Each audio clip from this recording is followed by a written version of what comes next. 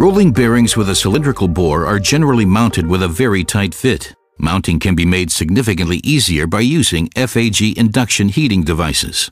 And in comparison with conventional methods, such as heating chambers or oil baths, this method is energy efficient, economical, and environmentally friendly. In order to improve the efficiency of the heating operation, a thin layer of grease is applied to the contact surfaces of the poles.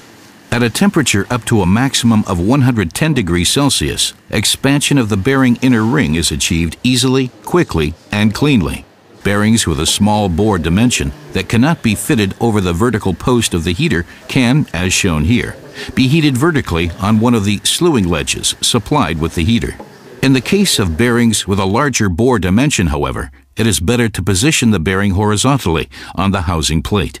This gives uniform and controlled heating of the inner ring and outer ring.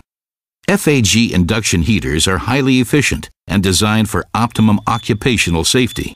They can be operated using an infrared remote control device, start up after an adjustable time delay, shut down automatically once the target temperature is reached, and also give demagnetization of workpieces.